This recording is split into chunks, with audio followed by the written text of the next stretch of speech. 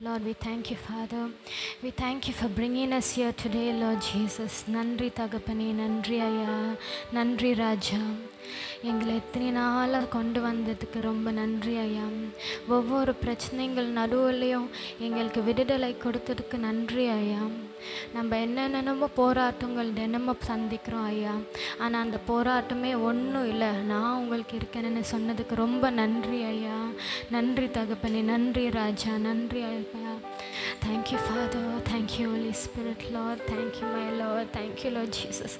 Thank you for giving us the strength, Lord Jesus, to come every day. Thank you for giving us the strength to cross every burdens and trials and our problems, Lord Jesus. In our life, we are facing so much, Lord Jesus, but you are with us, Lord.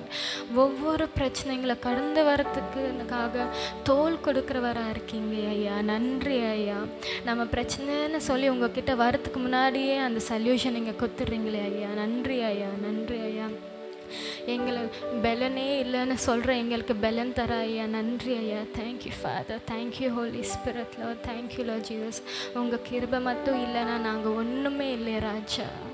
நன்றி ஐயா நன்றி தகப்பனே நன்றி ஐயா lord we thank you for everything that you given us from the time we are born right up to today lord jesus thank you father thank you holy spirit lord thank you lord you have provided all our needs lord you have always been our provider lord you have always been our healer lord jesus thank you father thank you holy spirit lord jesus lord bless this praise and worship bless this message which you are going to give today lord jesus and bring everyone safely who are about to come here lord jesus எல்லா தடைங்களையும் உடைச்சு எல்லா வர வேண்டியவங்க எல்லாம் நீங்கள் கொண்டு வாங்க ஐயா நீங்கள் கொண்டு வாங்க ஐயா bring everyone safely here lord jesus let them be touched by your word lord jesus let them be touched by your praise and worship lord jesus let them all be, let it be a more blessed day for him, Lord Jesus. Let this complete their day, Lord Jesus. Thank you, Holy Spirit, Lord. Thank you, Father. Thank you. Praise the Lord. எல்லாரும் சந்தோஷமாக இருக்கீங்களா? என்ன இன்னைக்கு ஒரு சாட்சியை இங்கே கொண்டு வந்திருக்காரு?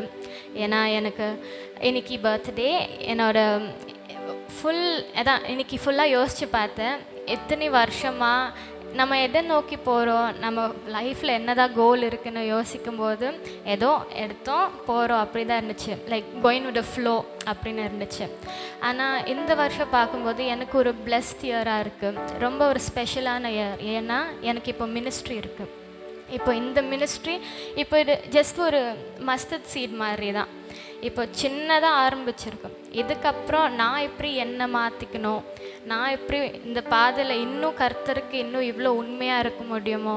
நான் என்னோட பாதைங்க என்னோட தாட்ஸ் எவ்வளோ நான் மாற்றணும் நான் இவ்வளோ இன்னும் உருவா ஆகணும்? மற்றவங்களுக்கு வந்து கர் கரெக்டாக அந்த பைபிளில் இருக்கிறது கரெக்டாக கன்வே பண்ணுறேன்னா ஏன்னா மினிஸ்ட்ரி வந்து ஈஸி இல்லை. எல்லாரும் மினிஸ்ட்ரி ஆ பண்ணிடலாம். அப்படி இல்லை. ஏன்னா மினிஸ்ட்ரின்னு என்டர் ஆனாலே நிறைய திங்க் ப்ராப்ளம்ஸ் ஃபேஸ் பண்ண வரும். நிறைய போராட்டம் இருக்கும். நார்மலாக இருக்கிறத விட நிறைய போ நெக்ஸ்ட் சில வாரம் யோசிச்சிருக்கேன் ஐயோ விஸ்வாசியாக இருந்துடலாம் அப்படின்னு யோசித்தா அது தப்பு. ஏன்னா அதுக்கும் மீறி மீறி நம்மளுக்கு வந்து ஒருத்தர் தகுதி இல்லாதவங்களுக்கு வந்து ஒரு இதான். உனக்கு நான் வந்து ஒன்று நான் வந்து உனக்கு இது கொடுக்குறேன்னா அது நீ வந்து நீ இன்னும் எவ்வளோ யூஸ் ஆகணும்னு என்கிட்ட அடிக்கடி பேசுகிற ஒரு விஷயம். ஏன்னா நான் வந்து லைக் காஸ்பிள் சாங்ஸ் பேக்கினும் வீடியோ ஃபீச்சரினும் போன வருஷம் தான் ஆரம்பித்தேன் ஒன் இயர் தான். அண்டு uh, uh, ஒரு நாள் கூப்பிட்டாங்க பேக் இன் பண்ணுறதுக்கு பென் சாமியலோட கேடகம்க்கு போனேன். அப்போது நிறைய பாஸ்தர் பசங்க பேக் இன் யூஸ்வலாக பாஸ்தர் பசங்க தான் இருப்பாங்க. ஆனாலும் நான் வந்து டோட்டலாக டிஃப்ரெண்ட் ஆங்கிலோ இண்டியன் பேக்ரவுண்ட் மினிஸ்ட்ரிக்கும் எல்லோரும் இவங்கெல்லாம் சர்ச் சின்ன வயசுலேருந்து இந்த மினிஸ்ட்ரி ஆர்வம் அப்படி. ஆனால் நான் வந்து எயிட் ஸ்டாண்டர்ட்லேருந்து தான் நான் வந்து ஒரு காஃபி ஹவுஸ் ஒர்க் ஷாப்னு இருந்தது. எல்லா யூத்தெல்லாம் கேதர் பண்ணி நம்ம வந்து ப்ரேஸ் அண்ட் ஒர்ஷிப்லாம் நடத்தோம் ஸோ ஒரு எயிட் ஸ்டாண்டர்ட்லேருந்து தான் நான் கொஞ்சம் கொஞ்சமாக அந்த ஒரு ஆங்கிலோ இண்டியன் க்ரௌட்லேருந்து கொஞ்சம் வெளியே வந்து நான் எனக்கு இதாக பிடிக்கும்னு போனேன். ஆனால் இதுக்கப்புறம் என்ன? நம்மளுக்கு இது பிடிக்கும். ஆனால் என்ன பாதையில் போகிறோம் நம்மளுக்கு ஏன்னா கல்யாணம் பண்ணால் அவங்களும் சப்போர்ட்டிவாக இருக்கணும் நம்மளுக்கு. இல்லை நீ ஏன் மினிஸ்ட்ரி போகிற நீ எதுக்கு இவங்களோட ஊழியம் பண்ணுறல யாராவது சொன்னால் அது நம்மளோட மனசுக்கு வந்து ஒரு தடையாக வைக்கிற மாதிரி நம்ம வந்து வாஞ்சேர் ஒன்று பண்ணணும்னு நினைக்கும் போது ஒருத்தங்க வந்து ஸ்டாப் பண்ணுற மாதிரி இருக்கும். ஸோ அதுக்காக ரொம்ப ப்ரே பண்ணிகிட்டே இருந்தேன். அதே மாதிரி அதுக்கேற்ற மாதிரி போன வருஷம் இந்த பேக்கினுக்கு எல்லாம் கூப்பிட்டு ஒரே ஒரு சாங்குக்கு தான் போனேன். ஏன்னா நான் சொல்லியிருப்பேன் முன்னாடி என் சாட்சியில் நான் ஒரே ஒரு கவர் சாங் பண்ணணுன்னு ஆசைப்பட்டேன். ஆனால் அது வந்து நிறைய செலவாகும்னு சொன்னால சரி அப்புறமா பார்த்துக்கலான்னு விட்டேன். ஆனால் கர்த்தரன் கிருபையால் இன்றைக்கி எயிட்டீன் சாங்ஸுக்கு வீடியோ ஃபீச்சரின் அண்ட் பேக்கிங்கில் என்னை என்னை வந்து யூஸ் பண்ணியிருக்காரு. ஸோ நான் எப்போவுமே நினைப்பேன் நானே நான் சும்மா ஏஸ்பா ஏன்னா ஷூட்டுக்கு போனால் ஃபுல் டே ஆக்கியபைடாக இருப்போம். அண்ட் அந்த ஒரு சாங் வந்து சும்மா ரெண்டு தடவை ப்ளே ப்ளே பண்ணிவிட்டு ரெக்கார்ட் பண்ணுற மாதிரி இல்லை. அந்த ஒரு ஆரம்பிச்சாங்கன்னா நாலு ஹவர் அஞ்சு ஹவர் போகும். ஸோ ஒரே சாங் வந்து ப்ளே பண்ணிட்டா நான் ஃபுல்லாக அந்த ப்ரெசன்ஸில் முழுங்குற மாதிரியே இருக்கும். அது ஒரு நல்ல ஃபீலாக இருக்கும். ஸோ என்னை ஷூட்னு கூப்பிட்டாலே நான் வந்து ஆஃபீஸில் எனக்கு லீவ் வேணும்னு சொல்லி லீவ் எடுத்துகிட்டு போயிடுவேன். நான் உண்மையாக சொல்லுவேன் எனக்கு ஷூட் இருக்குது காஸ்பிள் சாங் நான் போகிறேன் அதுக்காகவே எனக்கு லீவு கொடுப்பாங்க போவேன். ஸோ அது வந்து ஒரு உற்சாகமாக போவேன். ஸோ நான் நான் வந்து இல்லை என்னை கூப்பிடுங்க. அப்படிலாம் என்றைக்குமே யாருக்கிட்டயோ கேட்டதில்லை. ஆனால் தானாக ஃபோன் பண்ணி சிஸ்டர் இன்னைக்கு ஃப்ரீயா சிஸ்டர் இந்த டேட்டில் ஃப்ரீயாக வர முடியுமான்னு? அவங்களா கூப்பிட்றது. ஒரு பிரேக் ட்ரூ வர்ஷிப் டீமில் ஜாயின் பண்ணி அவங்களும் சாட்டர்டே சண்டே இந்த யூத் ஃபெலோஷிப் மாதிரி வச்சாங்க. ஸோ அங்கே பேக் இன் பண்ணிட்டு இருந்தேன். அது முடிஞ்ச பிறகு இப்போ ரீசெண்டாக கூட ரெண்டு song that is Jack Robert brother pastor Jack ராபர்ட்டோட சாங்ஸ்க்கு வந்து கூப்பிட்டாங்க. ஸோ அதெல்லாம் தானாக கூப்பிட்றது தான் யாரோ போய் அங்கே வந்து sing. இதெல்லாம் ஏன்னா கர்த்தர் வந்து நம்ம மேலே எவ்வளோ கிருபை வச்சுருக்காரு. அவ அவங்க எப்படி அது மூலமாக தானாக நம்மளை கூப்பிட்றாங்கன்னு மேத்திங் ஸோ ஒரு ஒரு சாங் இருந்துச்சு சர்ச்சில் பாடினது பென் சாமியலோட சாங் அது வந்து அவங்க வந்து பாஸ்தர் பையன். கூட பாடினதும் பாஸ்தர் பையன். என் கூட பேக்கிங்க்கு பாடின பொண்ணுங்களும் பாஸ்தர் பொண்ணுங்க. ஸோ நான் பார்ப்பேன் நான் மட்டும்தான் ஏதோ சம்மந்தமே இல்லாமல் இருக்கேனோ? ஃபு- என்னை சுற்றி ஃபுல்லாக பாஸ்தர் பசங்களாகவே இருக்காங்க. என்னை மட்டும் ஏன் சம்மந்தமே இல்லாமல் கொண்டு வருவாங்க வந்திருக்காங்கன்னு. கரெக்டாக ஒன் இயர் கழிச்சு எனக்கு பாஸ்தருடைய கல்யாணம் ஆச்சு. ஸோ இதெல்லாம் நம்மளுக்கு வந்து ஒரு விஷயம் நம்மளுக்கு நடக்குதுன்னா நம்மளுக்கு புரியாது. ஆனால் அது வந்து கரெக்டாக கருத்தர் நம்மளை ஒரு அந்த ஒரு ட்ராக்ல செட் பண்ணுறதுக்கு தான். இந்த ஒன் இயர் வந்து எனக்கு ப்ரிப்பரேஷன் மாதிரி. உனக்கு வந்து கொஞ்சம் கொஞ்சமாக தமிழ் சாங்ஸ் கற்றுக்கணும் நாளைக்கு நீ போய் நின்று பாடணும். எனக்கு வந்து ஒரு ஏதோ ப்ராக்டிஸ் கொடுத்த மாதிரி தான் நான் யோசிப்பேன்.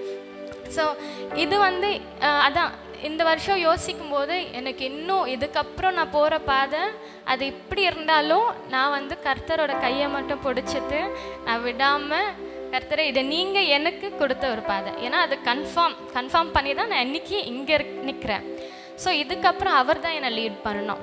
நான் நான் இப்படி யோசிக்கிறேன் நான் இப்படி பண்ணுறேன்னு நான் போனால் நான் போகிற டிசிஷனுக்குனா எதுவுமே நடக்காது. நான் போ ஏதாவது ஒரு பிளான் போட்டால் எப்படியும் சொடுப்பிடும் நடக்காது ஆனால் கர்த்தர் உங்கள் பிளான் நடக்குது என் வாழ்க்கையில் நான் விட்டால் கண்டிப்பாக நத்திங் ஸோ அதே மாதிரி உங்களுக்கும். உங்களுக்கு வந்து ஒரு இப்போ ஒரு பாதையில் நீங்கள் போகிறீங்கன்னா ஏ கர்த்தர் அப்படி கேட்காதீங்க. விட்டுடுங்க அப்பா கையில் விட்டுடுங்க. ஏன்னா is preparing you for something better and is preparing you for something which is the best ஏன்னா இப்போ நீங்கள் ஏன்னா நம்ம எவ்வளோ எவ்வளோ ஒடிக்கப்படுறோமோ அவ்வளோ அவ்வளோ we are going to grow ஸ்ட்ராங்காக உள்ளத்தில் இன்னும் ஸ்ட்ராங்காக வரப்போகிறோம் நம்மளுக்கு வந்து கால் வலி மூட்டு வலி அண்டு தலைவலி இருக்குது நான் இங்கே வரல அங்கே வரல. அதுலேயும் தாண்டி வாங்க. எல்லா வலியும் போகும். ஸோ எல்லோரும் என் கூட சேர்ந்து எனக்கு ரொம்ப பிடிச்ச ஒரு பாட்டு. ஸோ இன்னைக்கு கொஞ்சம் கண்களை மூடி அவரோட பிரசனத்துக்குள்ளே போவோம். லைக் அவருக்கு நன்றி செலுத்துவோம்.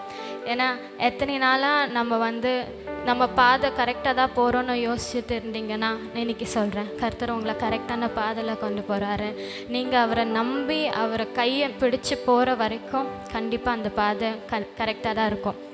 எப்போ நீங்கள் வந்து நான் ப்ராப்ளம்ஸை நோக்கி கீழே பார்க்குறீங்களோ அந்த நீங்கள் போகிற பாதை மிஸ் ஆகிடும் ஆனால் நீங்கள் அவரை மட்டும் நோக்கி பாருங்கள் உங்கள் பாதை என்றைக்குமே மிஸ் ஆகாது.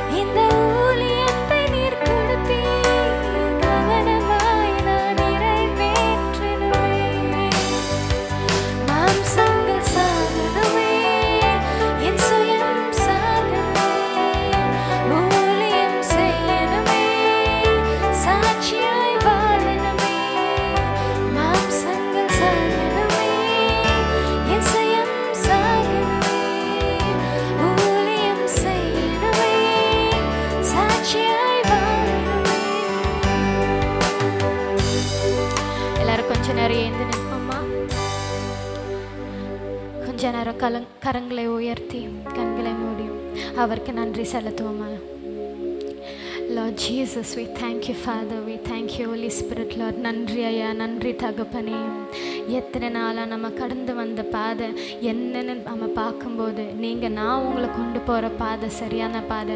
நீ எது பற்றியும் கவலைப்படாத. நீ எது பற்றியோ திரும்பி பார்க்காத.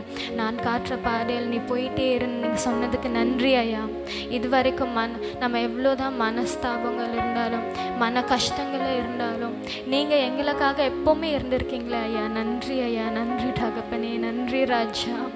எல்லாரும் நீங்கள் உங்கள் வாய்ஸ் சத்தத்தை உயர்த்தி நீங்கள் துடிங்க நீங்கள் உங்கள் துடிங்கள் நான் இங்கேருந்து கேட்கணும். கர்த்தருக்கு நன்றி செலுத்துவோமா. நீங்கள் பர்சனலாக ஒரு ரெண்டு நிமிஷம் அவர்கிட்ட நீங்கள் நன்றி செலுத்துங்க. Lord thank you Lord Jesus thank you Father thank you Holy Spirit Lord நம்ம கடந்து வந்த பாதை அவ்வளோவா இருந்தாலும் ஆனால் நீங்கள் இதோடு எவ்வளோ கடந்து போனீங்களே ஐயா.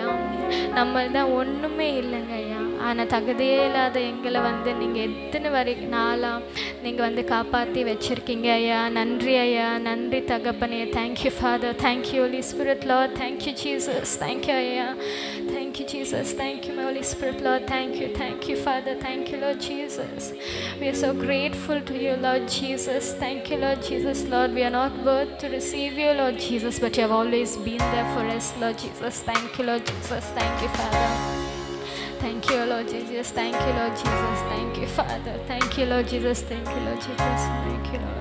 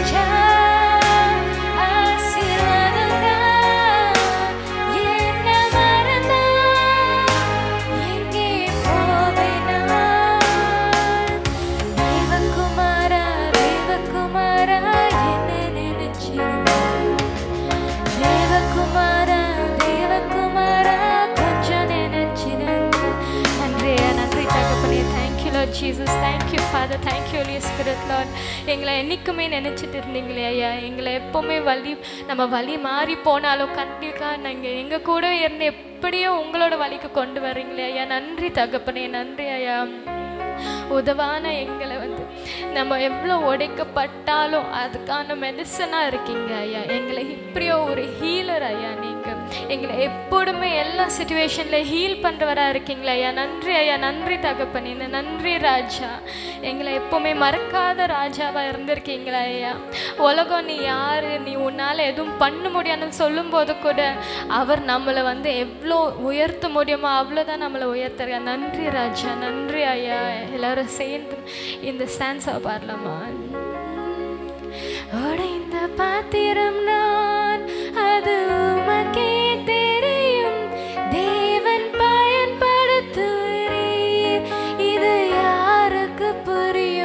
மனசார சொல்லுவோமா உடைந்த பாத்திரம் நான்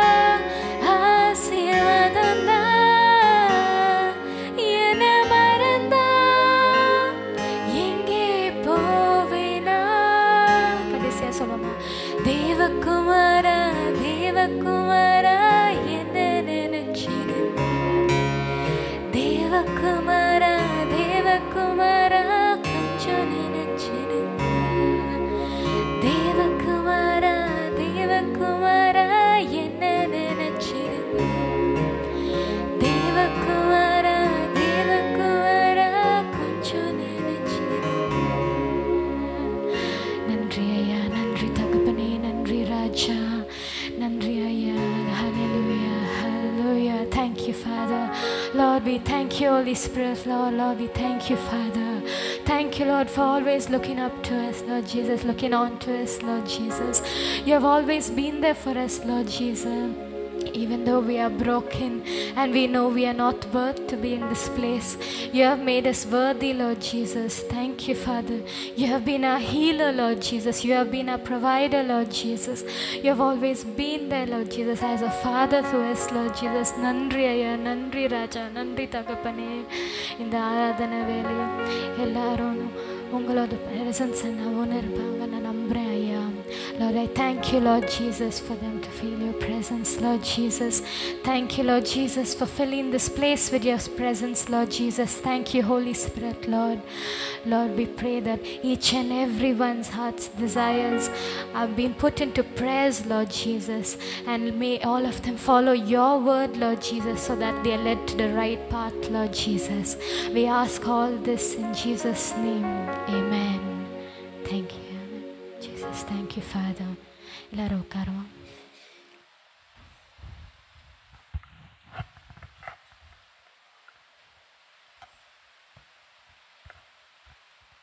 கர்த்தருடைய நாமம் மகிமைப்படுவதாக. எத்தனை பேர் சந்தோஷமாக இருக்கீங்க? எத்தனை பேர் கர்த்தருடைய வார்த்தையை கேட்கும்படியாக யாவலாய் கடந்து வந்திருக்கிறீங்க? ஆமேன். சரி. இந்த நாளில் ஞானத்தை குறித்து தியானிக்க போகிறோம். ஞானம். ஞானம் என்றால் என்ன? ஞானம் என்றால் விஸ்டம் சொல்லிட்டாங்க. ம்? எது? கர்த்தருக்கு பயப்படுதலே ஞானத்தின் ஆரம்பம். அந்த ஞானம் என்ன? ம்? இப்போ என்ன சொல்கிறீங்கன்னு எனக்கு கேட்கவே இல்லை. எல்லாம் வாய்க்குள்ளேயே வந்து சொல்லிக்கிறீங்க. ஆனால் ஏதோ ஒன்று சொல்ல வரீங்கன்றது நல்லாவே தெரியுது. வேதம் நமக்கு சொல்லுகிறது நீதிமொழிகள் ஒன்றாம் அதிகாரம் ஏழாவது வசனம். கர்த்தருக்கு பயப்படுதலே ஞானத்தின் ஆரம்பம். The fear of the Lord is the beginning of wisdom கர்த்தருக்கு பயப்படுகிற ஒரு பயம். இந்த கர்த்தருக்கு பயப்படுகிற பயம்ன்றது சாதாரணமாக மனுஷனுக்குள்ளே வராது. ஏன்னு கேட்டால் இந்த பூமியை உண்டாக்கின தேவன் மனுஷனை தம்முடைய சாயலினால் சிருஷ்டித்த கர்த்தர் ஒரு சு ஒரு ஃப்ரீ வில்ல கையில் கொடுத்து எது சரி எது தவறு என்பதை என்ன பண்ணுங்க? அறிந்து கொள்ளுங்கள் எல்லா ஆளுகை அதிகாரம் எல்லாத்தையும் கரங்களில் கொடுத்தபடியினால் மனுஷனுக்கு கர்த்தருக்கு பயப்படுகிற பயம் இன்னதென்று அறியாமல் போயிட்டாங்க. அப்படி அறிஞ்சிருந்தா ஆதி மனுஷன் பாவம் செஞ்சுருக்க மாட்டாங்க. அப்படிதானே? கர்த்தருக்கு கர்த்தர் யார் என்பதை அறிஞ்சு அவருக்கு பயப்படுகிற பயம் ஒரு மனுஷனுடைய இருதயத்தில் இருந்திருந்தா அவருக்கு செலுத்த வேண்டிய கணத்தையும் புகழையும் ஸ்தோத்திரங்களையும் செலுத்துகிற ஒரு மனுஷனாக இருந்திருந்தா விழுந்து போயிருக்கவே மாட்டாங்க. அப்படிதானே? அப்போ ஆதி மனுஷனிலிருந்து கர்த்தருக்கு பயப்படுகிற பயம்ன்றது ஒன்று இல்லாமல் போயிடுச்சு. அந்த ஞானத்தை என்ன பண்ணிட்டாங்க? உதாசீனப்படுத்திட்டாங்க. ஆனால் வேதம் நமக்கு தெளிவாய் சொல்லுகிறது கர்த்தர் ஞானத்தினாலே பூமியை அஸ்திபாரப்படுத்தினாராம். அவருடைய ஞானத்தினாலே தண்ணீர் பிரிந்து போயிற்றுன்னு எழுதப்பட்டிருக்கிறது. அவர் அனந்த ஞானத்தினால் சூரிய சந்திர நட்சத்திரங்கள் சர்வ சிருஷ்டி சகல சேனையும் தம்முடைய ஞானத்தினால் அவர் சிருஷ்டித்தார். ஆமென். அந்த ஞானம் என்பதை ஒரு மனுஷனால் அளவிடவே முடியாது அந்த ஞானத்தை. அந்த ஞானத்தை ஒரு மனுஷன் கண்டடையணும்னா அந்த ஞானத்தை ஒரு மனுஷன் புரிஞ்சு கொள்ளணும் அந்த ஞானம் ஒரு மனுஷனுக்குள்ளாக பிரவேசிக்கணும்னா உண்டாக்கின ஒரு தேவன் உண்டு என்பதை அறியணும். அது எந்த மனுஷனாக இருந்தாலும் நம்ம தானாக வரலை? தானாக மறித்தும் போகலைன்றத ஒரு மனுஷன் அதை உணரணும். சகலமும் அவருடைய ஞானத்தினால் உண்டாக்கப்பட்டு தாயின் கருவில் உருவாகிற குழந்தையினுடைய வ உருவாகிற குழந்தையினுடைய வழி இன்னதுன்னு யாருக்குமே தெரியாது. சகலமும் தம்முடைய ஞானத்தினால சிருஷ்டித்திருக்கிறார். சிருஷ்டித்து ஒரு காரியத்தை மாற்ற சொல்லிட்டார். என்னன்னா உண்டாக்கின ஒரு தேவனை என்ன பண்ணுங்க? நோக்கி பாருங்க. அவரை நோக்கி பார்த்தீங்கன்னா பிழைத்து பெருகுவீங்க. அவரை நோக்கி பார்த்தீங்கன்னா உங்கள் வாழ்க்கையில் எல்லா ஆசீர்வாதங்கள் நன்மைகள் கடந்து வரும்னு சொல்லியதை மனுஷன் என்ன பண்ணலை? தேடலை. இந்த நாளில் நமக்குள்ளாக ஒரு தேவனை தேடுகிற ஒரு தேடல் தேவனுக்கு அடுத்த காரியங்கள் பயப்படுகிற ஒரு பயம் ஒரு மனுஷனுடைய இருதயத்தில் இருந்தால் ஞானமானது உட்பிரவேசிக்கும். ஆமீன். இந்த ஞானம் எப்படியான்னு தெரியுமா? இப்போ நம்ம இப்போ எல்லாருக்கும் வந்து ஒரு நல்ல சரீரத்தில் ஒரு ஆரோக்கியமான ஒரு வாழ்க்கை வாழணும். எல்லாருடைய சரீரம் முகம் அழகாக இருக்கணும்னு எல்லாருக்கும் ஆசை. அப்படிதானே? சில பேர்லாம் க்ரீமு ஹாஃப் அன் ஹவர்னாலும் போட்டு போட்டு போட்டு முக முகத்தை என்ன பண்ணுறோம் எப்படியாவது அழகாக காட்டக்கூடாதா? நல்ல லிப்ஸ்டிக் போட்டு கண்மை போட்டு ஒவ்வொருத்தர் பண்ணுற எல்லா மேக்கப் பார்க்கும்போது நம்மளுடைய முகத்தை என்ன பண்ணணும்? மற்றவர்களுக்கு முன்பாக ஒரு ப்ரெசன்டபுளாக அடுத்தது ஒரு அழகாய் எல்லாரையும் கவருகிற ஒரு தோற்றமாய் காணப்படணும்னு வெளித்தோற்றமான நம்முடைய சரீரத்திற்கு அநேக அலங்காரங்களை என்ன பண்ணுறோம் செலுத்துகிறோம். ஆனால் உண்மையான அலங்காரம் எதில் தெரியுமா இருக்கு? நீங்கள் சாப்பிடுகிற ஆகாரத்தில். அதை தான் இன்னைக்கு யாருமே என்ன பண்ணுறதில்ல கடைப்பிடிக்கிறதே இல்லை. நல்லா பாருங்கள் முகத்தில் பாசிப்பயிர் எடுத்து பூசிக்கிறாங்க. அடுத்தது என்னது? தலையில் ஹேர் ஆயில் ப்ரிப்பேர் பண்ணுறாங்க எனக்கு கடந்த நாட்களில் ஒரு ஹேர் ஆயிலை பற்றி பார்க்கும்போது எனக்கு உண்மையிலேயே சிரிப்பு தான் வந்துச்சு. அந்த ஆயில் தயாரிக்க இஞ்சி பூண்டு வெங்காயம் தக்காளி சேர்க்கலை மிளகு. அதாவது நம்ம கிச்சனில் இருக்கிற எல்லா ஸ்பைசஸ் எல்லாம் என்னென்ன சாப்பிட்றோமோ எல்லாத்தையும் உள்ளே போட்டு தலையில் காய்ச்சி தலையில் தடவியாச்சு. ஆனால் சரியாய் ஒரு மனுஷனுடைய முடி கொட்டுறது நிற்கணும்னோ ஒரு முகம் ஒரு அழகாக காட்டணுன்னா மூஞ்சில் தடவிக்கிறதையும் தலையில் போட்டுக்கிறது உள்ளே சாப்பிட்டோன்னா என்னவாயிடும்? அழகாகவே என்ன பண்ணிடும்? முகப்பொழிவு உண்டாயிடும். அப்போ மனுஷனுக்கு முகக்கலையை உண்டு பண்ணுகிற எண்ணெய்னு எழுதியிருக்கு. அடுத்து என்னது? சாப்பிடுகிற ஆகாரம் தானியல் சாப்பிட்டார்ல? மர காய்கறிகளை சாப்பிட்டு அவருடைய முகம் பிரகாசிச்சுச்சான் அப்போ பிரகாசம் எதில் இருக்குது நம்மளுடைய நம்மளுடைய மனசு நம்ம எதில் வந்து நிலை கொண்டு இருக்கிறோன்றது அப்போ அந்த ஆகாரத்தை ஒரு மனுஷன் கரெக்டாக உட்கொண்டா யாருக்குமே கீரைன்றது பிடிக்கவே பிடிக்காது. எல்லாமே என்னது? நான்வெஜ் சாப்பிட்டா ரொம்ப நல்லதுனா நான்வெஜ் சாப்பிட்றதுனால உடம்பு அழகு பெறுதா முகம்? ம் அது முகம் அழகு கெட்டாலும் பரவாயில்ல. நான்வெஜ் சாப்பிட்டு க்ரீம் பூசிக்குவேன். அப்போ என்னாகும்? நிரந்தர தீர்வு கிடைக்காது. ஒரு நிரந்தர தீர்வு வேணும்னா ஆகாரத்தை சரியாய் உட்கொண்டு நல்ல பேலன்ஸ் டயட்டை நம்ம வந்து மெயின்டைன் பண்ணோம்னா சரீரமும் ஆரோக்கியமும் சுகமடையும் பெலனடையும் பொலிவு பெறும். இப்போ கர்த்தர் நமக்கு அதை தான் சொல்லிக் கொடுக்கிறார். தேவன் நமக்கு சொல்லிக் கொடுக்கிற காரியம் ஒரு மனுஷனுடைய வாழ்க்கையில் பிரகாசம் உண்டாகணும் ஒரு மனுஷனுடைய வாழ்க்கையில் வெற்றியாய் வாழணும் ஒரு மனுஷனுடைய பாதைகளெல்லாம் செவ்வையாக இருக்கணும் ஒரு மனுஷனுடைய வாழ்க்கையில் ஒரு ஆசீர்வாதத்தின் நன்மையை அவர்கள் பெற்றுக்கொள்ளணும் மெய்யான சமாதானம் மெய்யான சந்தோஷத்தை பெற்றுக்கொள்ளணும்னா தேவனை அறிகிற அறிவு ஒரு மனுஷனுக்குள்ளே கடந்து வரணும். அந்த அறிவு கடந்து வந்துருச்சுன்னா அவங்க வாழ்க்கை என்ன பண்ணிடும்? மாற்றப்பட்டுரும். ஆமீன் அப்போ பயப்படுகிறத பார்த்துட்டோம். ஞானத்தின் ஆரம்ப பிகினிங் அதான் ஸ்டார்டிங் பாயிண்ட்டே ஆரம்பமே அதில் தான் எழுதப்பட்டிருக்கு. இதை நம்ம எடுத்து கொண்டு போகணும்னா என்ன பண்ணணும்னா அதான் சொல்லப்பட்டிருக்கு பாருங்கள் இந்த ஞானம் வந்து என்ன பண்ணுதான் அந்த அந்த ஞானம் வந்து ஜனங்களை பார்த்து வேதனைப்படுது. என்னன்னு கேட்டால் இந்த ஞானத்தை கண்டடைகிறவங்களுக்கு என்னெல்லாம் கிடைக்குமா? நீதி நியாயம் நிதானம் இதை பற்றி உபதேசத்தெல்லாம் அறிஞ்சுக்குவாங்களா? அப்படின்னா என்னது? இந்த ஞானம் கர்த்தருக்கு பயப்படுகிற பயம் உண்டாக்கின தேவனை நோக்கி பார்க்கிற இருதயம் ஒரு மனுஷனுக்குள்ளே கடந்து வந்துட்டா அந்த இருதயம் எப்படிப்பட்டதாக இருக்கும்னு கேட்டிங்கன்னா சகல ஞானத்தினாலும் பாதைகள் என்னவாயிடும்? வெளிச்சமாக மாறிடும். அவங்களுடைய கண்கள் என்ன பண்ணிடும்? திறக்கப்பட்டுரும் எது சரி எது தவறு என்பதை நிதானித்து சரியான பாதையில் நடக்க கற்றுக்குவாங்க அந்த ஞானம் பார்த்து வேதனைப்படுது. என்னன்னா பேதைகளே நீங்கள் எவ்வளோ காலம் உங்கள் பேதமையில் நிலச்சிருப்பீங்க. நிந்தனைக்காரரே நீங்கள் எத்தனை காலத்தில் உங்கள் நிந்தனையில் சந்தோஷப்படுவீங்க? அடுத்து என்னது? மதிகேடரே நீங்கள் எத்தனை கால ஞானத்தை வெறுப்பீங்க? அப்படின்னா என்னது? நீங்கள் எல்லாம் வந்து உண்மையான தேவனிடத்தில் கடந்து வந்து அந்த மெய்யான நீதியில் நீங்கள் நடக்கக்கூடாதபடி உங்களுடைய அறியாமையிலும் உங்களுக்கு புரிந்த காரியத்தில் வைத்து உண்மையான தேவனை நீங்கள் என்ன பண்ணிட்டீங்க? விட்டது நிமித்தமாக எத்தனை காலம் உங்கள் வாழ்க்கையில் இப்படியே போக போகிறீங்க அந்த ஜீவனில் ஊற்றி நண்டைக்கு கடந்து வந்தீங்கன்னா உங்கள் வாழ்க்கை மாற்றப்படும். உங்களுடைய எல்லா சூழ்நிலைகளும் வெளிச்சமாய் பிரகாசிக்கும். ஆமென். அப்போ இந்த ஞானமானது என்ன பண்ணுதுன்னா வெளியே நின்று கூப்பிடுது ஒவ்வொருத்தரையும். வெளியே நின்று கூப்பிடுதான் பாருங்க பத் இருபதாவது வசனம் ஞானமானது வெளியே நின்று கூப்பிட்டு வீதிகளில் சத்தமிடுகிறது. யாராவது அந்த ஞானத்தை காதில் கேட்டிருக்கீங்களா? உடனே நீங்கள் சொல்லுவீங்க நாங்கள் கீரை விற்றதை கேட்டிருக்கோம் காய்கறி விற்றுருக்கதை கேட்டிருக்கோம் வீதியிலும் சந்தையிலும் நியாயம் விற்று நாங்கள் ஞானம் விற்றதை கேட்கவே இல்லையே. கேட்டிருந்தா அப்பயே வாங்கியிருப்போமே கூப்பிட்டு.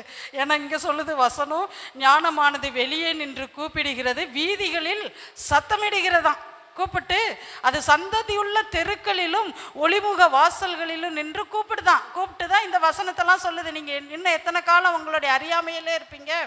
இன்னும் எத்தனை காலம் நீங்கள் எதையுமே புரிஞ்சுக்காம போக போகிறீங்க பார்க்குற இந்த பூமியில் பார்க்குற காரியத்தில் எத்தனை காலம் நிலச்சிருக்க போகிறீங்க என்ன வான் அதான் பாருங்கள் அடுத்த வசனம் என்ன சொல்லுது பாருங்கள் ஞானத்தை ரெண்டாவது வசனம் எனக்கு பிடிச்ச வசனம் ஞானத்தை வா என்று கூப்பிட்டு புத்தியை சத்தமிட்டு அழைத்து ஃபஸ்ட்டு பார்த்தால வீதியில் நின்று கூப்பிடுது சந்துகள் தோறும் இருந்து என்ன பண்ணுது?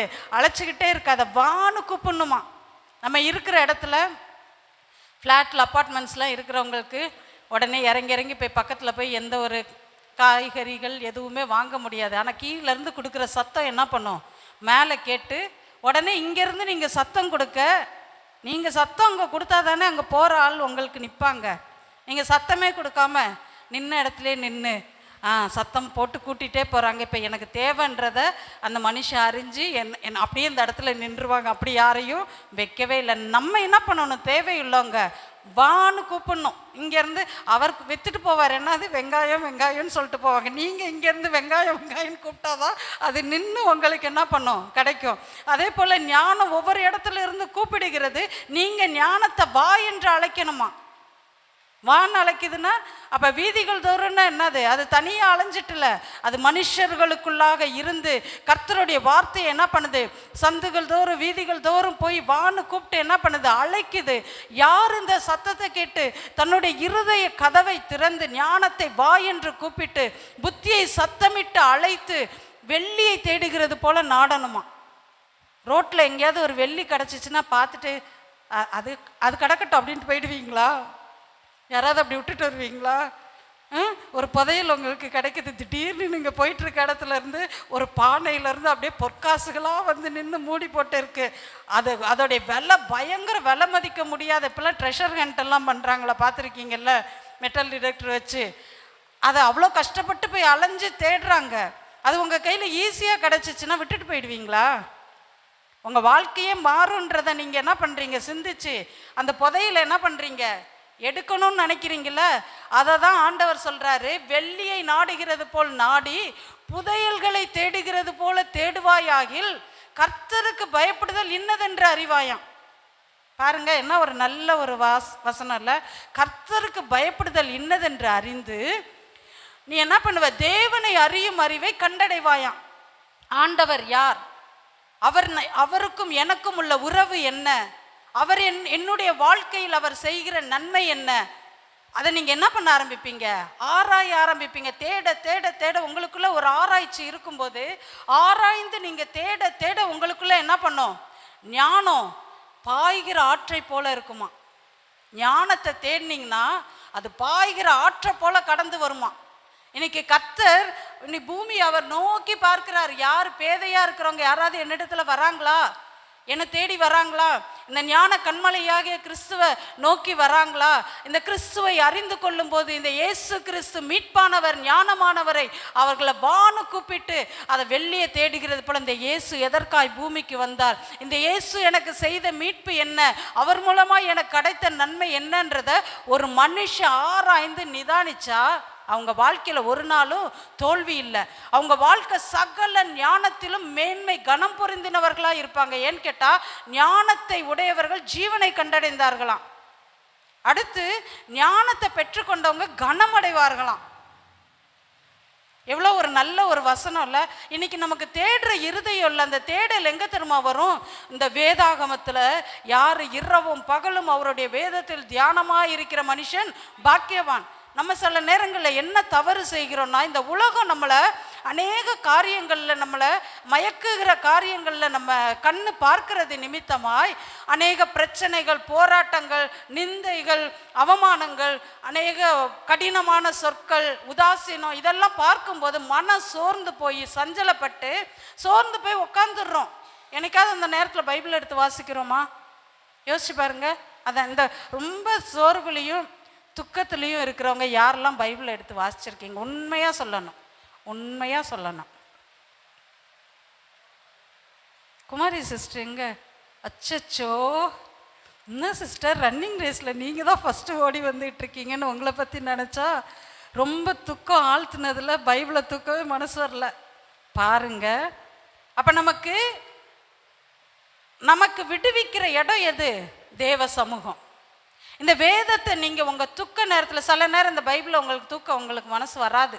நீங்கள் துக்கப்படுற வேலையிலையும் வேதனையான சூழ்நிலையில் போகும்போதும் வாசிக்கணும்னு நினைப்பீங்க. உங்கள் கையில் எடுத்து கூட வச்சுருப்பீங்க. அதனால் உங்களால் ரீட் பண்ண முடியாது. எத்தனை பேர் அந்த பாதையில் போயிரு போயிருக்கீங்க? இல்லைன்னு சொல்ல முடியாது. அதுதான் உண்மை. ஏன்னு கேட்டால் பிசாசுக்கு தெரியும்.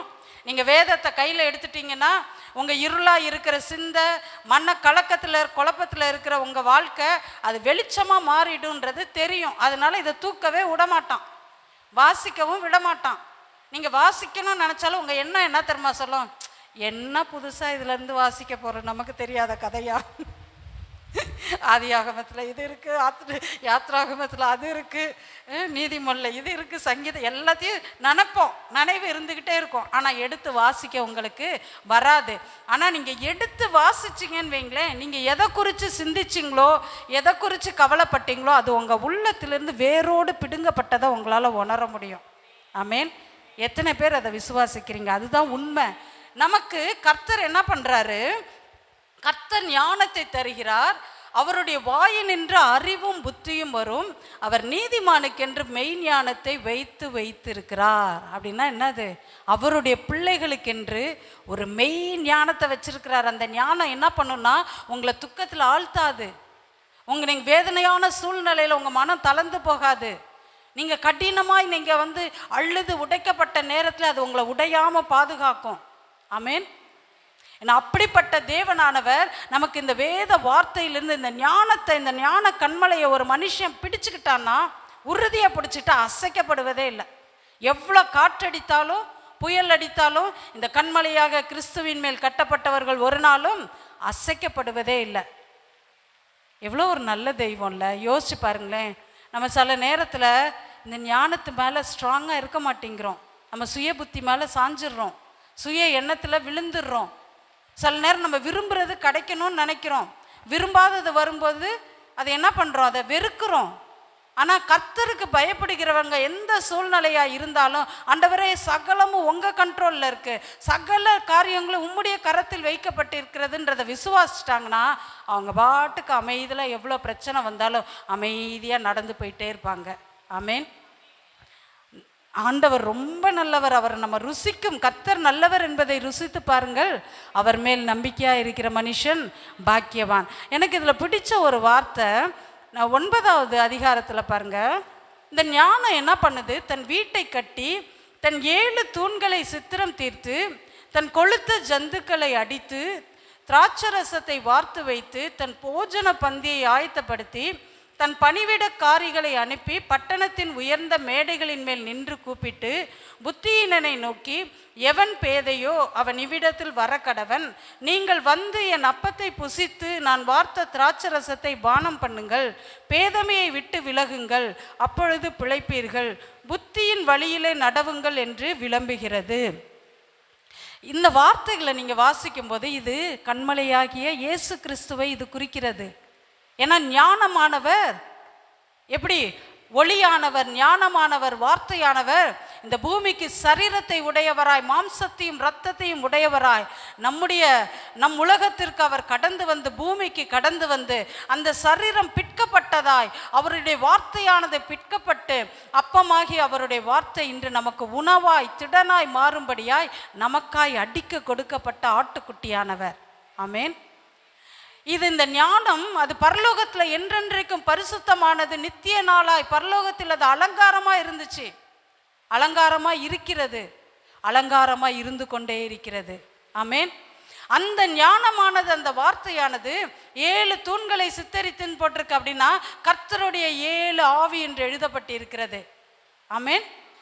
கர்த்தருடைய ஏழு ஆவி ஏழு ஆவினா செல்வம் கனம் நிறைய காரியங்கள் இருக்கு. அறிவை உணர்த்துகிற வசனம் கர்த்தருக்கு பயப்படுகிறப்ப எல்லா ஏழு ஆவிகள் அது தேவன் தேவனோடு கூட கடந்து வருகிற காரியம். அது என்ன பண்ணுச்சு? அந்த ஞானம் ஏழு தூண்களையும் சித்தரித்து அதை அலங்கரித்து பூமிக்கு வந்து என்ன சொல்லுச்சு? அம், போஜனத்தை பதார்த்தத்தை ஆயத்தப்படுத்தி புத்தியினமான மனுஷனும் ஆண்டவர் பேதையாக இருக்கிறவர்களும் என்னிடத்துல வாருங்கள். வந்து என்ன பண்ணுங்க? நான் வார்த்து என் அப்பத்தை புசித்து நீங்கள் வந்து என் அப்பத்தை புசித்து நான் வார்த்த திராட்சரசத்தை பானம் பண்ணுங்கள். என்ன ஒரு நல்ல தெய்வம்ல இந்த வேதத்தில் மறைப்பொருள் எதுவுமே இல்லை. உங்களுக்கு மறைப்பொருளாய் காணப்படுகிற வார்த்தைகள் தேவனுடைய ஆவியின் மூலமாய் அது வெளி வெளிப்படுத்தப்படுகிறதா இருக்கிறது. ஆமேன். ஆண்டவர் என்ன வே- அதாவது வேதத்தை நேசிக்கிறவங்க வாழ்க்கை தலைகிலாக மாறிடும். தலைகிலாக மாறிடும். அவங்க முகம் துக்க முகமாக இருக்காது. இருக்கலாம். மனுஷனுக்கு எல்லாம் அழுக வர்றது இயல்பு. வேதனையான ஒரு சூழ்நிலையில் கடந்து போகும்போது நம்ம மனசு மன கிளேசம் வருகிறது. உண்மை. அது மனுஷ இயல்பு அது. ஆனால் இந்த எல்லா பாதையிலும் அந்த ஆண்டவரை நம்ம உறுதியாக பிடிச்சிக்கிட்டா அந்த கடக்கிறதற்குரிய பலனை நமக்கு கொடுப்பாரு. அந்த பலன் இல்லாதவர்கள் தான் பாதி வழியிலே தன்னுடைய உயிரை என்ன பண்ணிடுறாங்க? மாய்த்துடுறாங்க. நம்பிக்கையற்ற ஒரு வாழ்க்கை.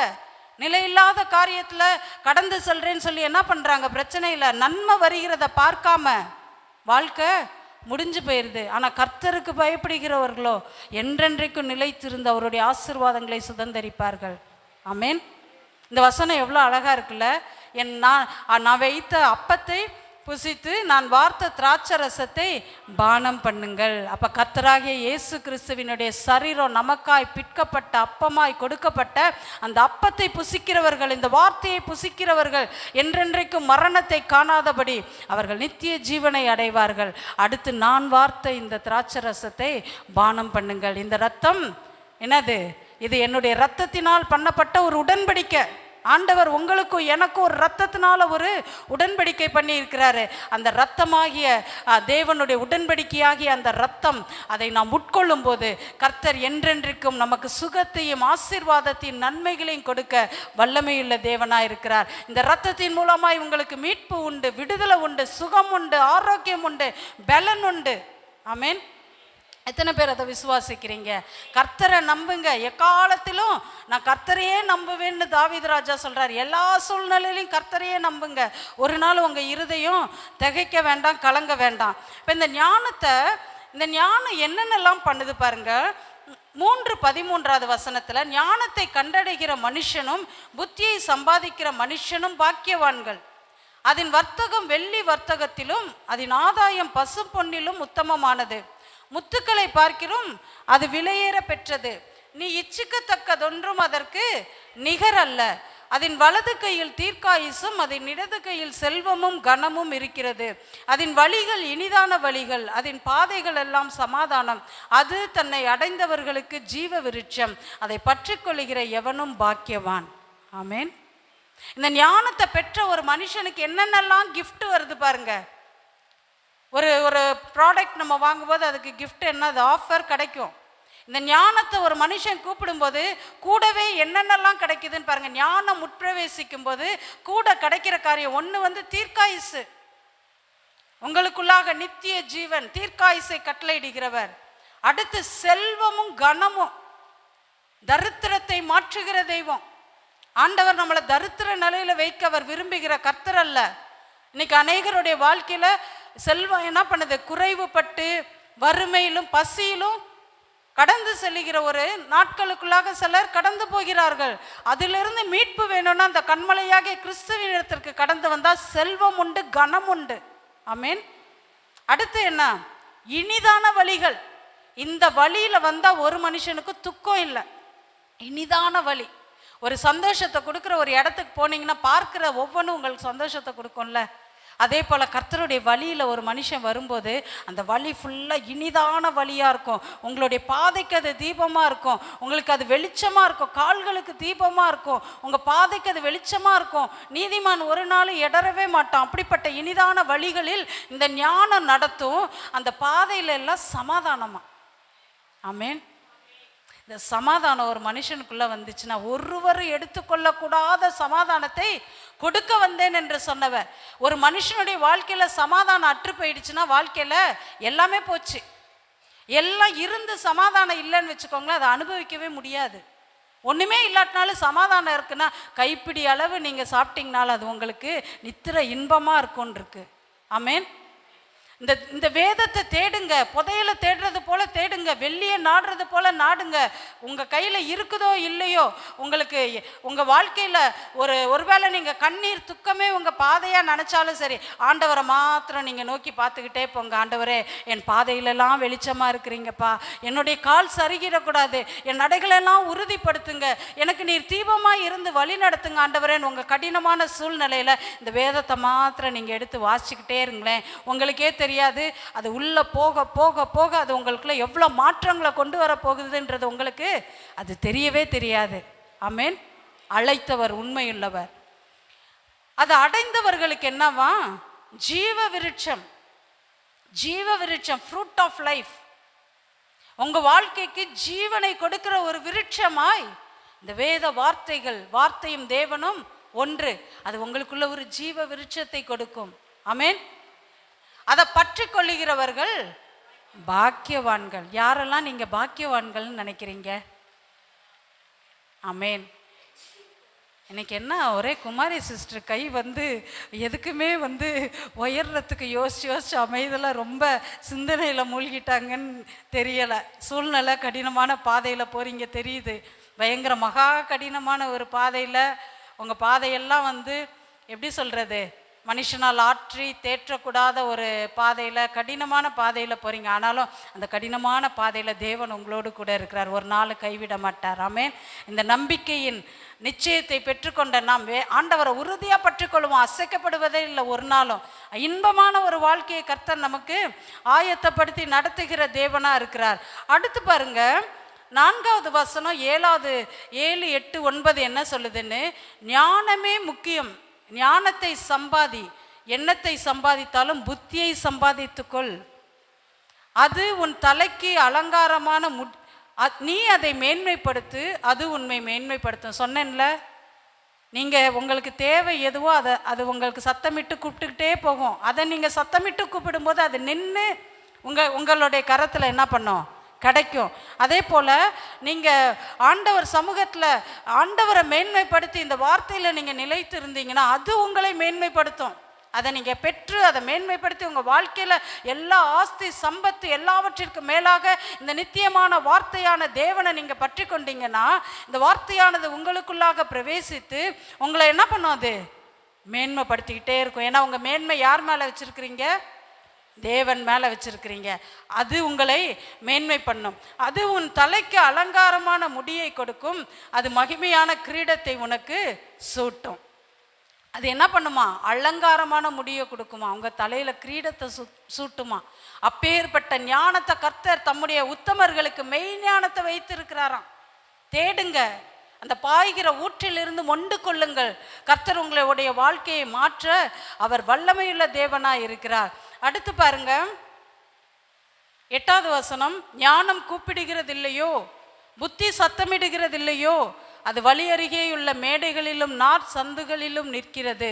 அது ஊர்வாசல்களின் ஓரத்திலும் பட்டணத்தின் முகப்பிலும் நடை கூடாரங்களிலும் இன்று சத்தமிட்டு மனுஷரே உங்களை நோக்கி கூப்பிடுகிறேன். என் சத்தம் மனுபுத்திரருக்குள் தொனிக்கும் பேதைகளே விவேகம் அடையுங்கள். மூடர்களே புத்தியுள்ள சிந்தையா இருங்கள் கேளுங்கள் மேம்பாடான காரியங்களை பேசுவேன். என் உதடுகள் உத்தம காரியங்களை வசனிக்கும். என் வாய் சத்தியத்தை விளம்பும். ஆகாமியம் என் உதடுகளுக்கு என் வாயின் வாக்குகள் எல்லாம் நீதியானவைகள். அவைகளில் புரட்டும் விபரீதமும் இல்லை. அவைகள் எல்லாம் புத்தியுள்ளவனுக்கு தெளிவும் ஞானத்தை பெற்றவர்களுக்கு யதார்த்தமுமாய் இருக்கும். வெள்ளியை பார்க்கிலும் என் புத்திமதியும் பசும் பொன்னை பார்க்கிலும் ஞானத்தையும் அங்கீகரித்துக் கொள்ளுங்கள். முத்துக்களை பார்க்கிலும் ஞானமே நல்லது. இச்சிக்கப்படத்தக்கதொன்றும் அதற்கு நிகரல்ல. ஞானமாகிய நான் விவேகத்தோட வாசம் பண்ணி நல் யுக்தியான அறிவை கண்டடைகிறேன். ஆமென். எவ்வளோ ஒரு அழகான வார்த்தைகளில். கடந்த நாட்கள் இந்த வா வசனத்தை வாசிக்கும் போது எத்தனை பேருக்கு நம்ம போய் செஞ்ச கிராம ஊழியர் ஞாபகத்துக்கு வந்துச்சு?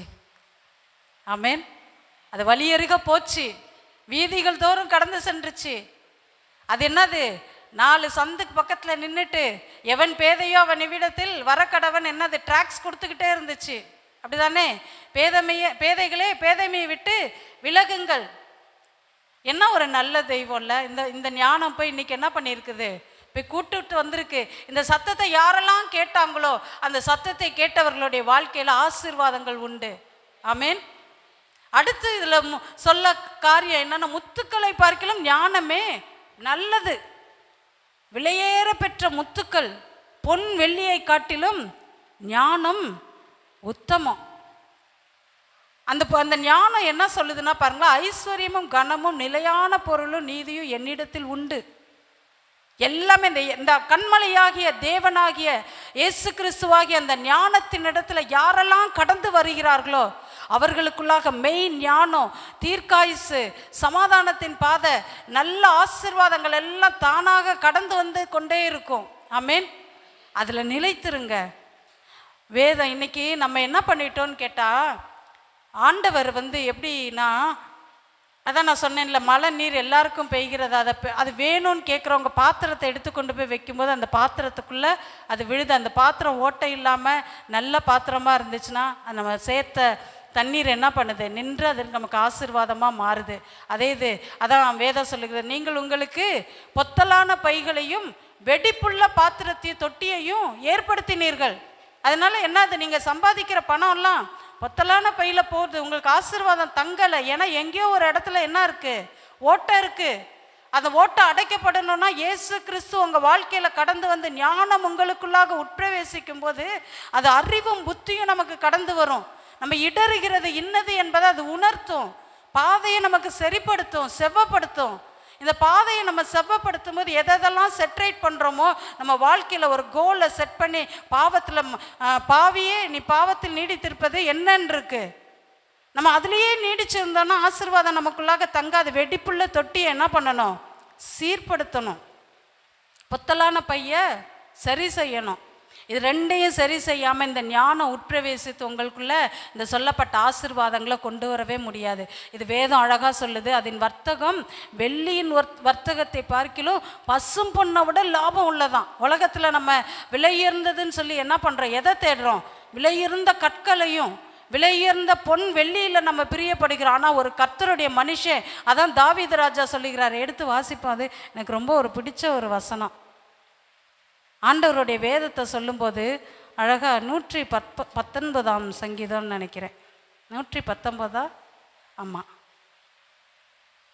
ஒரு வார்த்தை பசும் பொன்னிலும் தேனிலும் தெளித்தேனிலும். அந்த வார்த்தை.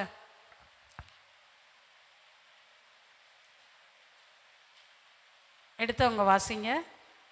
கத்தருடைய வேதம் குறைவற்றதும் ஆத்துமாவை உயிர்ப்பிக்கிறதுமாக இருக்கிறதுன்ருக்கு அது தேனிலும் தெளித்தேனிலும் மதுரமானதும் பொன்னிலும் பசும் பொன்னிலும். அது என்னது? விலையேர்ந்தது முத்துக்களை பார்க்கிறது விலையேர்ந்தது. அன்றியும் உடைய அடியான் உடைய வார்த்தையினால் எச்சரிக்கப்படுகிறேன்னு சொல்லப்பட்டிருக்கு. யாராவது எடுத்தீங்களா அந்த வசனம்?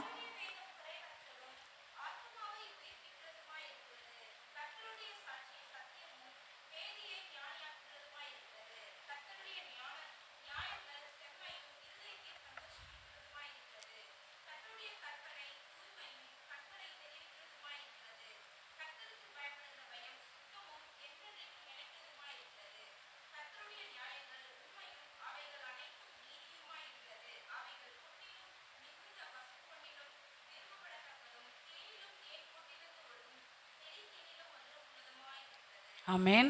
எவ்வளோ ஒரு நல்ல வசனம் பார்த்தீங்களா? இது நம்ம நினைக்கிறோம் நீதிமொழிகள் ஃபுல்லாக ஞானத்தை சொல்லுது. அப் அதை இங்கே நீதிமொழிகள் மாத்திரம் நமக்கு ஞானத்தை சொல்லலை.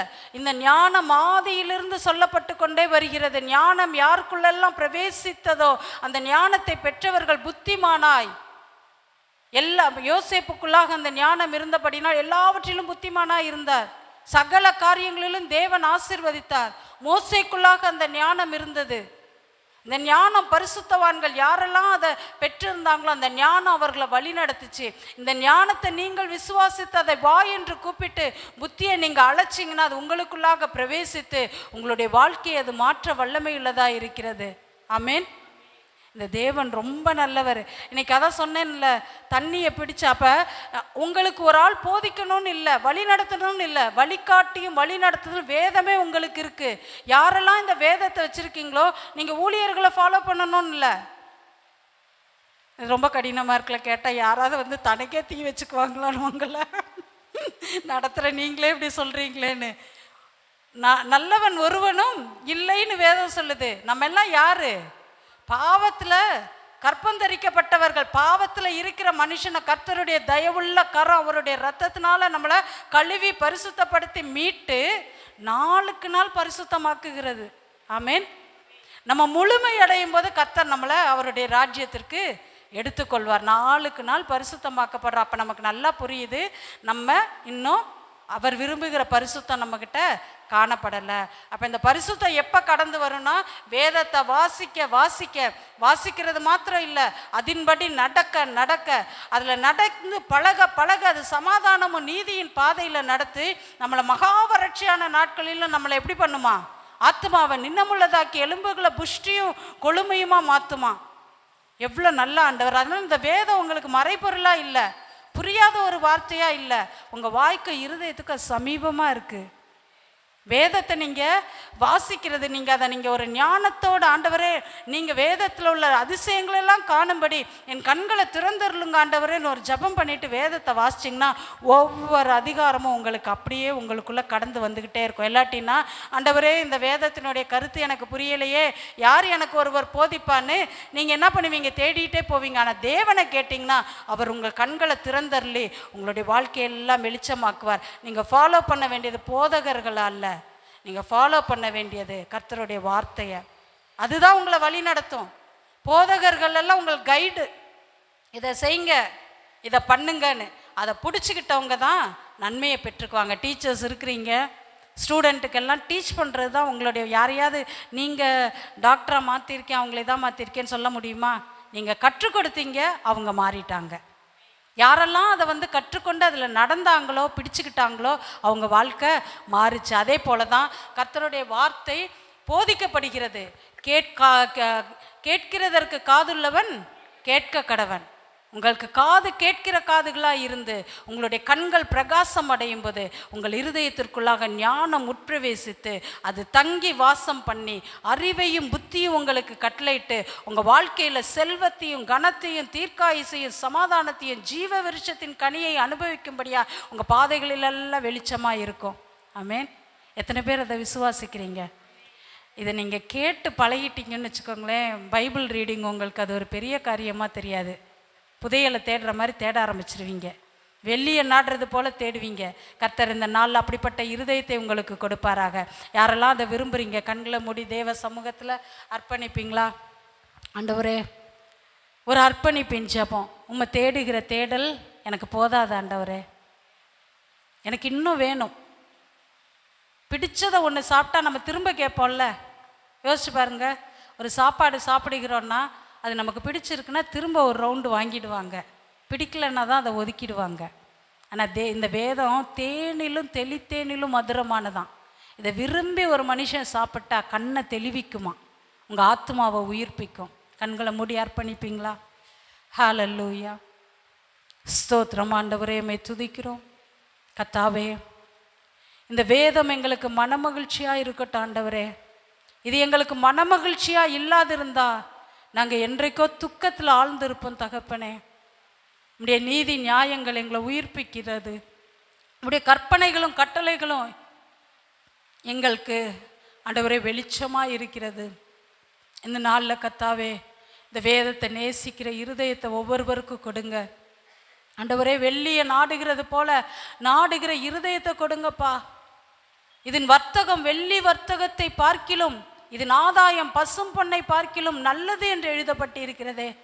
நாங்கள் வைத்திருக்கிற வெள்ளி பொன்னை காட்டிலும் விலையுயர்ந்த கற்களை காட்டிலும் விலை மதிக்க முடியாத உடைய வார்த்தைகளை கர்த்தாவே அண்டவரே உதாசீனப்படுத்தாதபடி ஞானத்தை வா என்று கூப்பிடுகிற இருதயத்தை ஒவ்வொருவருக்கும் கொடுங்கப்பா. அந்த ஞானம் உட்பிரவேசிக்கட்டும் தகப்பனே. அண்டவரே சகல சத்தியத்திற்குள்ளும் இந்த ஞானம் வழி நடத்தும்படியாக உம்முடைய கரத்தில் நாங்கள் ஒப்புவிக்கிறோம். கேட்ட ஒவ்வொருவருடைய கண்கள் தெளிவடைவதாக. ஆண்டவரே இந்த வார்த்தைகளை வாசிக்கும்போது ஒவ்வொருவருக்கும் மதுரமாய் காணப்படட்டும். இந்த வேதத்தை வாசிக்க வாசிக்க ஒவ்வொருவருடைய உள்ளங்களும் கம்பீரித்து மகிழட்டும். அண்டவரே இவங்க வேதத்தின் மூலமாய் ஒவ்வொருவரை உழந்த எலும்புகளை உயிரடைய செய்வீராக. அண்டவரே மன மகிழ்ச்சி நல்ல ஔஷதம் என்று சொல்லப்பட்டிருக்கிறது. அண்டவரே அந்த மெடிசன் ஒவ்வொருவருக்குள்ளே கடந்து வரட்டும். எலும்புகளுக்கெல்லாம் ஊனாகட்டும். அது பலனாய் மாறட்டும். உடைய வார்த்தையினால் கர்த்தர் ஒவ்வொருவரையும் பலக்க பண்ணுவீராக. உடைய பரிசுத்த கரம் என்னாலும் ஆளுகை செய்யும்படியாய் ஜபிக்கிறேன். நீர் ஆவியை பொழிகிறீர் என்று எழுதப்பட்டிருக்கிறது. ஞானம் ஞானத்தை பெற்றுக்கொண்டவர்கள் மீது உடைய ஆவியை நீர் பொழிகிறீர் தகப்பனே. உம்முடைய ஆவியானவர் சகல சத்தியத்திற்குள்ள வழி நடத்துகிறீர் ராஜா. இந்த நாளில் கர்த்தாவே கிருபையும் சத்தியமும் ஒருவரை விட்டு நீங்காதபடி அது ஒவ்வொருவருக்கும் அரணாய் கேடகமாய் காணப்படுவதாக. கேட்ட ஒவ்வொருவரையும் கர்த்தர் ஆசீர்வதித்து உடைய நன்மையினால் கர்த்தர் ஒவ்வொருவரையும் நிரம்ப பண்ணுவீராக. உடைய பரிசுத்த கரத்தில் ஒப்புவிக்கிறேன். ஆசீர்வதிங்க பலப்படுத்துவீராக. இயேசுவின் மூலம் ஜெபிக்கிறேன். ஜீவனுள்ள பரம தகப்பனே. ஆமேன். சேர்ந்து சொல்லுவோம். என் ஆத்துமாவே கர்த்தரை ஸ்தோத்ரி. என் முழு உள்ளமையுடைய பரிசுத்த நாமத்தை ஸ்தோத்ரி. என் ஆத்துமாவே கர்த்தரை ஸ்தோத்ரி. கத்தர் செய்த சகல உபகாரங்களை மறவாதே. ஆமேன்.